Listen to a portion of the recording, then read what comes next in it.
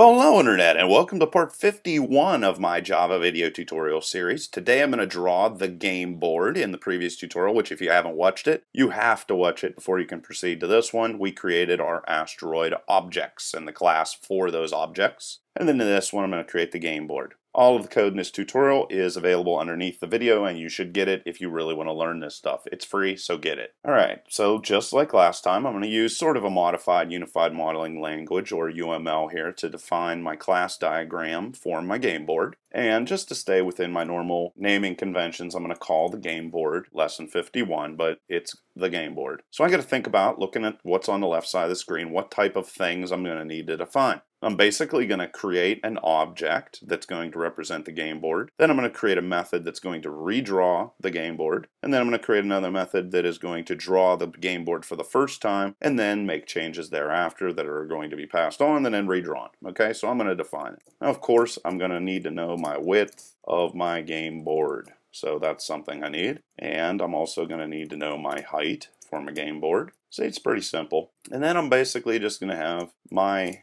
main function just like always in the past and it's going to return nothing. Later on I'm going to do a more perfect UML tutorial but just for now to keep it simple I'm going to do everything this way. So then I'm going to need to repaint my game board every single time there's changes to be made and I'm going to pass it the board which is going to be of lesson 51 and then what do I need to do? Well, I'm going to call the constructor, and this guy right here is going to be passed the game board, which once again is named lesson 51, and it's going to return nothing. Then, quite simply, all it's going to do is execute code over and over and over again, and that is what we call a thread. Alright, so then what do I need to do? Well, I need to define what the game board is going to start out as. So this is going to be another method called game drawing panel. And one of the things that's on the screen, obviously, what's bouncing around rocks. So I'm going to have to create an array list that's going to be full of a bunch of rock objects. And then I'm also going to need to have access to the polygon array. That's an integer array. Contain all the x points for all the polygons. And I'm also going to need to have access to the y array for those polygons. And width is going to be a reference to the actual width of the board. And height is going to be another integer that's going to have represent the height of the board. And if I scroll that up right there I'm then going to have a constructor called game drawing panel of course and it's going to run and return nothing after it's done. And basically what it's going to do is call a method that I'm going to call paint and this method is going to get past a graphics object that's going to contain all the state information for rendering of graphics and drawing shapes and doing all those things that the graphics object does for me. And then it is going to return void as well. So that is all I need, just those couple things right there. So now knowing that, I'm going to jump in and create my game board class. On with the code. Now again, you're going to see how simple this is, and that's just going to define the layout that I'm going to use for my J panel. Then I'm going to go public class, I'm going to call this lesson 51, and it's going to extend the J frame, and that's what we're going to be drawing on. See, just grabbing and reusing things. Boom, like that, and I got all my class information. Then using what's on the right side of the screen, I'm going to define public static int, and this is going to be my board width, and I have it set up here so that it can be accessible to my rock class. And then I'm going to do the same exact thing for my board height. Throw that in there, height. There you go. And then we're just going to create this J-frame or this game board inside of main for now, args. And that is all it's going to do. New lesson 51. Right like that. And there you go. So that's going to create the whole game board. So we have to create lesson 51. So go public lesson 51. And then I need to just define all the defaults for this J-frame or this game board. So it's going to have a size obviously and that size is going to be board width and board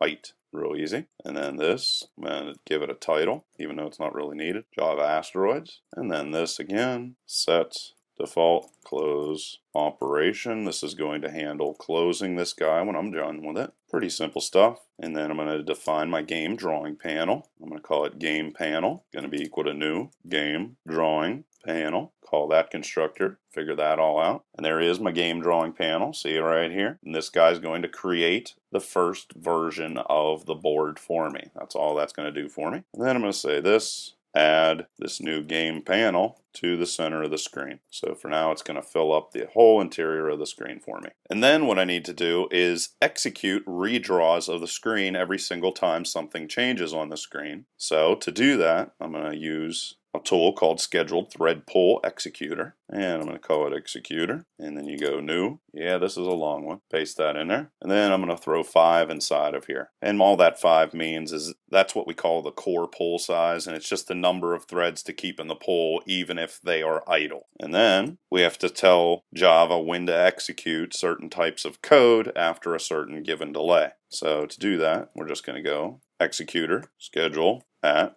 fixed rate so we got to say, okay, what code are we going to execute? Repaint the board, and that's what we're doing here. And this, which is a reference to the game board itself. The initial delay, we don't need to have an initial delay, so I'm just going to put zero inside of there. And then I'm going to say every 20, and then here I have to define exactly what time unit I want to use. So it's going to be time unit, milliseconds. So every 20 milliseconds, I want to redraw the game board. And then we can come over here, and see that we have an error and import the time unit library. So that's all fixed. And that's pretty much all we need to do except for set visible, show the frame on the screen. So it's real simple, just breaking everything down. This is why object-oriented programming is so beautiful and very, very easy to work with. All right, so now we're going to need to define our classes. First one is repaint the board, and I'm going to put implements runnable and this is the runnable interface and by creating this we'll be able to continually redraw the screen over and over and over again and we're going to go lesson 51 is the board and then public repaint the board which is the constructor whenever this is called and the board's going to be passed over to it and then we just got to go this version of the board which is the one being used inside of this class is equal to the board that was passed over. Pretty simple. And then whenever you implement the runnable interface, you have to create a method. And you can see that right here. If you zoom in, add unimplemented methods, just click on it. Save yourself some typing. And you can see there's run. So I can just delete this altogether. Get rid of this. And then inside of run, we're just going to say the board, repaint yourself. And that's it. That's the code that's going to be run over and over and over again. So pretty simple. That's going to handle redrawing my board for me. And then now all I need to do is define all my defaults and all the things that are going to change as the game progresses. So I'm going to create another class called game drawing panel extends J component, which is like the master component. And then I have to, like it says right here, see there's everything over here. Just keep referring to the right side of your screen. I need to create an array list that's going to contain all of my rock objects. New array list, rock, just like that. Then I want to get the original x and y points in an integer array for the polygon called rock. So I'm going to refer to the rock class here and because this was set up as a static value in the previous tutorial, I can just grab that, borrow that from that guy, paste that in there. Oh, and up here I forgot to type in rocks, which is going to be the name of my array list. And then I'm going to go and get myself the game board width, right like that, and height, lesson 51, the height. Then in public game drawing panel, the constructor for this guy, I'm going to create 50 rock objects and store them in my array list. Do this with a for loop, int is equal to. And this is going to be changed later on so that it will be a lot easier to define how many rocks are going to be drawn to the screen. I'm actually going to have this be a static value later on in the tutorial. But for now, this works. And I'm just going to go int random start x position. And this is just going to make sure that all the polygons are in different positions on the screen. We don't want them drawing over top of each other. Math, call the random function. And also, so these asteroids or rocks are moving around at different speeds, it's going to be nice to have the random value inside of there. Lesson 51, board width, and then give myself some padding. That's where the minus 40 comes in, plus 1, and there you go. And I'm going to basically be able to copy this guy to create my random starting position for my Y, starting polygon drawing part. So here I just need to change this to height, and there you go. Everything else is going to be the same. Then I just need to start adding my rocks to my rock array list. So call the add method and go new rock and then I can call get poly x array and then pass it over random starting x position which is exactly what pops up there for me comma rock get poly Y array right there. And you can see that it automatically went and threw that in there. See, saves me time whenever you set these up right. Then I'm going to pass over that I'm going to have 13 points in each polygon, random starting X position, and random starting Y position. Throw a semicolon there at the end, and there you go. That's going to throw all the rocks inside of that array list so that I can use them. Pretty cool. And the last thing I need to do is create the